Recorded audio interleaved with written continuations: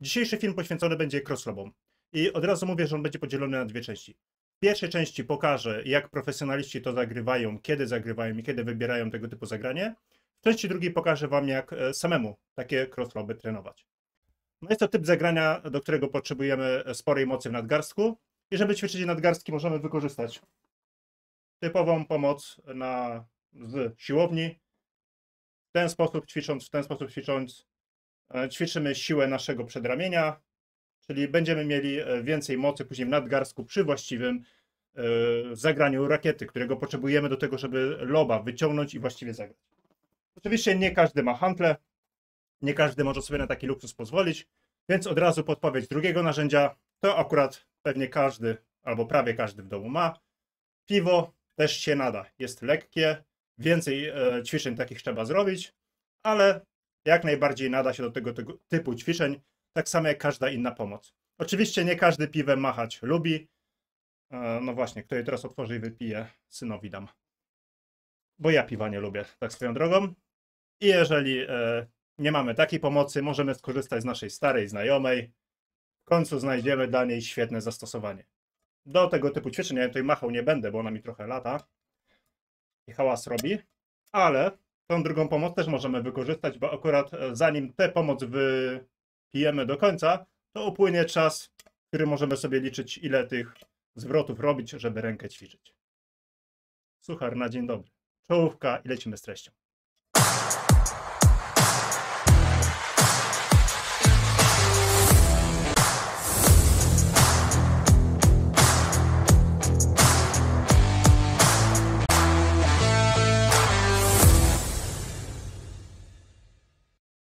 Tak jak powiedziałem, e, na wstępie w pierwszej części popatrzmy, jak i kiedy zawodowcy zagrywają e, loba, a właściwie to cross loba, bo o takim konkretnym e, lobie dzisiaj będziemy mówić.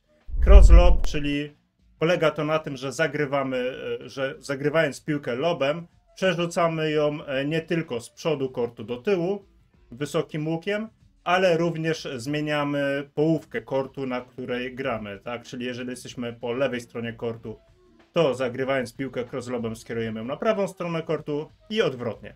Chodzi o to, żebyśmy mieli jak najwięcej czasu na powrót do T, a jednocześnie jeżeli ten lob jest odpowiednio wysoki i odpowiednio e, pod dużym kątem ta piłka będzie nam spadała, to ona spadając blisko tylnej ściany, zazwyczaj szyby, sprawi ona wiele problemów e, przeciwnikowi. Czasami to może spowodować, że stanie się ona niemożliwa do zagrania kiedy zawodnicy zawodowi zagrywają crossloba. No tak jak widzicie na dołączonych filmach, kiedy so, wtedy, kiedy są e, w trudnej sytuacji przy przedniej ścianie. Crossa z tego zagrać się zazwyczaj nie da, bo jest niedogodna pozycja. Zresztą nawet gdyby się zadało crossa w czasie, często w sytuacji, w której się e, ci zawodnicy znajdują, przeciwnik jest e, w te, w okolicach te w dogodnej sytuacji, w dobrej pozycji, więc zagrywając crossa narażamy się, przepraszam, nie crossa, tylko skrót, narażamy się na to, że przeciwnik dobiegnie, stanie za nami, poprosi o strołki i go dostanie.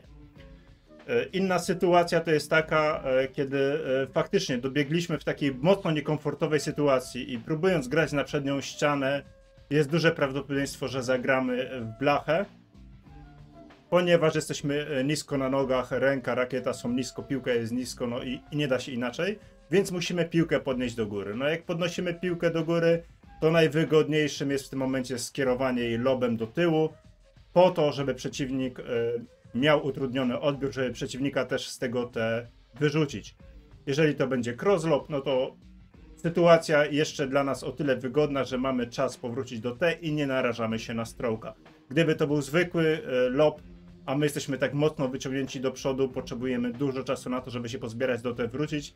Jest ryzyko, że przeciwnik po drodze niekoniecznie dobrze tą piłkę odbierze, ale zmarkuje zagranie, wymusi sytuację e, strołkową dla nas strata punktu, stąd właśnie e, cross lob.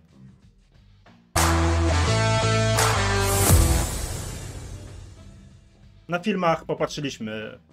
Jeśli ja czegoś nie dopowiedziałem, to mam nadzieję, że sami wypatrzycie, kiedy zawodowcy tego cross loba zagrywają, w jakich sytuacjach radzę obejrzeć trochę filmów, podpatrywać właśnie e, tego typu sytuacje i samemu na ich podstawie się uczyć, wyciągać wnioski, kiedy to grać.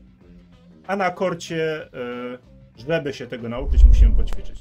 Dzisiejsza propozycja na trening tych skro- tych cross lobów jest taka, jak możecie zobaczyć na załączonym filmie. Pomysł pochodzi od e, mojego trenera Roberta Olejniczaka. On wymyślił tę sekwencję, on wymyślił to, to ćwiczenie, ja wam, o którym ja dzisiaj wam opowiem i z którym się e, trochę męczyłem i które też mi pomogło tego crosslob, nad tym crosslobem zacząć e, pracować.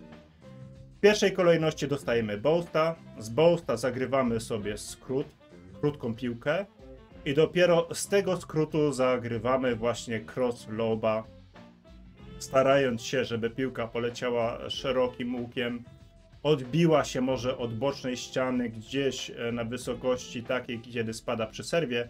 Idealnie, jeżeli spadnie dalej i bardziej prostopadle, no bardziej pionowo spadnie nam na tą e, tylną ścianę. Tak jak powiedziałem wcześniej, żeby przeciwnik miał jak najmniej miejsca do jej zagrania. Z tej pozycji nasz partner, nasz trener, zagrywa nam piłkę na drive'a i my z tego gramy drive'a. Poza tym, że ćwiczymy e, tego crossloba, e, sytuacji, która rzeczywiście na korcie może się pojawić, bo jak mam nadzieję wyłapaliście na tych e, firmach e, zawodowych, których fragmenty wam firmach z grania, graczy zawodowych, których fragmenty wam pokazałem, mniej więcej w takich sytuacjach właśnie oni zagrywają, tak? Dostają krótką piłkę do przodu, trzeba się mocno wychylić, szybko do tej piłki doj- dojść, nie bardzo jest wybór, zagrywamy crossloba. I my właśnie taką sytuację sobie stwarzamy. Po naszym e, skrócie, który sami sobie nagrywamy, nie mamy wiele czasu na reakcję, na dopasowanie się do. Ponieważ musimy szybko zagrać zagranie za zagraniem, do tego staramy się, żeby nasz skrót był jak najlepszy. I tym samym wymuszamy na sobie, żebyśmy w następnym zagraniu, w tym zagraniu, którym ćwiczymy crossloba, żebyśmy wyszli jak najbardziej do przodu. W niskim wykroku, silnie do przodu, czasami też spóźnieni. Ćwiczymy nad e, prędkością naszego zabrania, zagrania, prędkością nadgarstka i uczymy się z tej niewygodnej sytuacji wyprowadzać tego crossloba. Jak widzicie na tych filmach i wcześniej na tych, szczególnie na tych slow motion, e, czyli na tym e, spowolnionym ruchu, było widać, że zawodowcy tego crossloba właśnie zagrywają e, skrętem ramienia, czasami dopomagając sobie skrętem nadgarstka. To nie jest jakiś e, swing, bo nie mamy tam dużo miejsca, szczególnie jak nisko parkietu operujemy rakietą. Nie ma tam miejsca na duży swing. Oczywiście niektórzy potrafią rozpędzić rękę, wsunąć rakietę i trochę siłą rozpędu e, wygenerować trochę więcej energii na zwrot tej rakiety, ale to i tak dalej jest praca przed ramieniem, praca e, nadgarstkiem. Stąd e, ćwiczenie tych mięśni, tej zwrotności, o którym mówiłem na tym wstępie, trochę żartobliwie mam nadzieję. I tutaj mamy ten układ, dlaczego zagrywamy sobie skrót i zagrywamy z tego crossloba. Po tym dostajemy od e, naszego trenera drive'a. Dlaczego nie znowuż boosta? Dlatego, żebyśmy wrócili do te, żebyśmy się uczyli kontrolować sytuację i do tego, żebyśmy rozprężyli mięśnie, rozprężyli też nasz umysł i zagrali z drugiej strony. E, oczywiście, jeżeli nam to nie idzie, mamy z tym problem, jesteśmy jeszcze na trochę niższym poziomie zaawansowania i chcemy ćwiczyć tylko te crossloby, to nic nie stoi na przeszkodzie, żebyśmy za boostem od razu grali crossloba, dostawali od tego, e, z tego boost i tak w kółko. Tylko e, taka sytuacja bardzo rzadko wystąpi na e, czasie gry rzeczywistej. Nie powinniśmy się uczyć grać crossloba po boście. Jeżeli przeciwnik zagrał z tyłu Boast, to jest duże prawdopodobieństwo, że on jeszcze nie zdążył dobiec e, do T, że on został z tyłu, więc dużo bardziej naturalnym zagraniem w takiej sytuacji będzie skrót albo drive. E, Na tą stronę, na której my jesteśmy, a nie na tą, z której przeciwnik zagrywał. Dlatego po boście zagrywamy raczej skrót, żeby zasymulować sytuację, że przeciwnik jest na tej samej części boiska e, co my, jest gdzieś za nami prawej bądź z lewej strony, zależnie z której strony ten skrót gramy. I dopiero z tego gramy cross loba.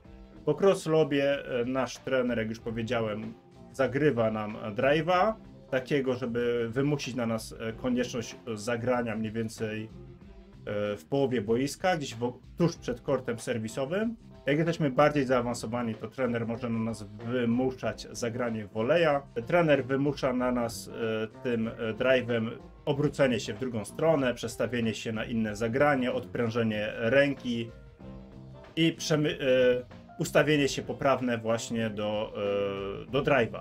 Po drive on gra nam boost, więc znowuż musimy wystartować z punktu T do skrótu. Po skrócie e, powtarzamy całą sekwencję.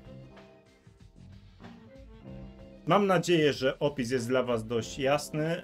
Moim zdaniem to ćwiczenie jest naprawdę mocno efektywne i rzeczywiście wyucza e, nawyku zagrywania tego cross loba w właściwym momencie na korcie.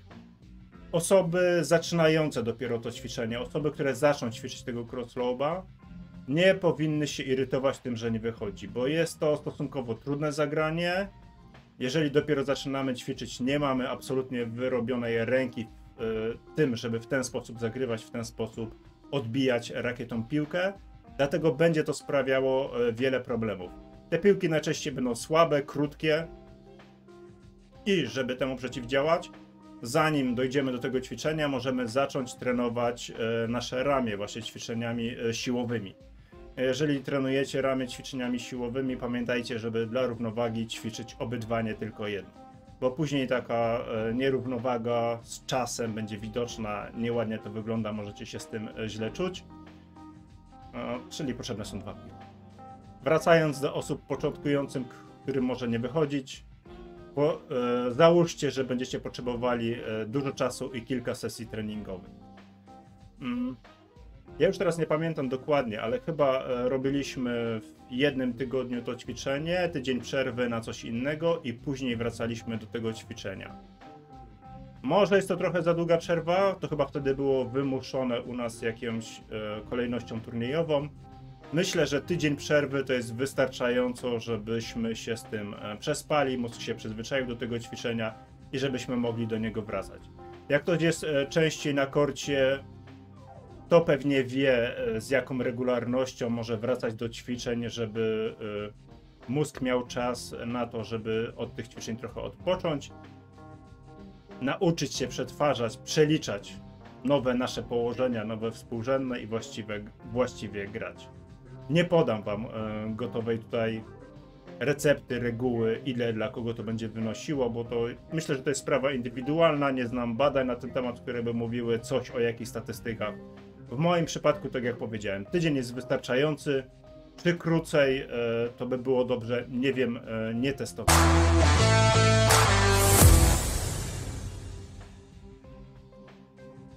I oczywiście e, po ćwiczeniach na jednej stronie przechodzimy na stronę drugą. I dokładnie schemat jest ten sam. Tak? Jeżeli wcześniej dostawaliśmy skrót na forehand i z forehandu zagrywaliśmy e, cross loba, a na backhandzie zagrywaliśmy drive'a, to teraz będzie na odwrót.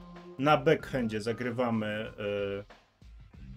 e, cross lob, skrót do siebie i cross loba, a na forehandzie będziemy zagrywać drive'a.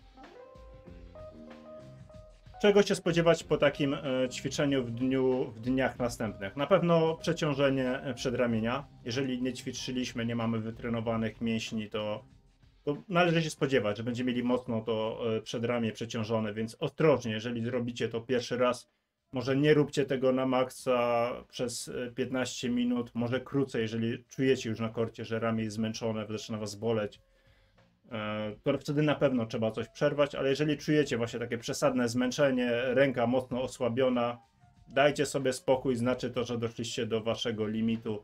Nie ma sensu e, dalej tego ciągnąć, bo nic e, z tego nie wyjdzie, a tylko przeciążycie niepotrzebnie ram- ramię i możecie się narazić na kontuzję. E, Ponieważ tu jest bardzo dużo ćwiczenia w głębokim wykroku, więc jeżeli znowuż przeciągniemy to za dużo poćwiczymy, to można się spodziewać jakichś e, dolegliwości typu DUMS e, w pośladkach, udach. To zależy, gdzie tam e, wam mięśnie nie domagają, który z tych, którą z tych partii macie niedoćwiczonych. I tak samo jak ramię ćwiczymy, możemy ćwiczyć siłowo. Tak samo, jeżeli wam się pojawiają dolegliwości w udach, pośladkach, po większej serii wykroków to też można trenować i myślę, że o tym nakręcę film. Powiem tylko, że wszelakiego rodzaju skoki na skrzynię e, i wypady, przysiady, krzesełko tak zwane, to są ćwiczenia, które wzmocnią wam te partie mięśni i pozwolą, jeżeli będziecie je regularnie trenować, pozwolą wam na to, żebyście nie mieli dolegliwości potreningowych w postaci zakwasów chociażby. a w trakcie gry, w trakcie treningu będziecie też w stanie dłużej wytrzymać i dłużej efektywnie ćwiczenia wszelkiego rodzaju wykonywać. I oczywiście to później e, będzie rzutowało na wszelkiego rodzaju e, mecze, w trakcie których będziecie w stanie dłużej efektywniej grać. No a na tym e, nam zależy, przynajmniej kiedy mówimy o tego typu treningach. Myślimy raczej o tym, żeby później zabłysnąć w meczu, żeby poprawić naszą jakość gry, efektywność meczową.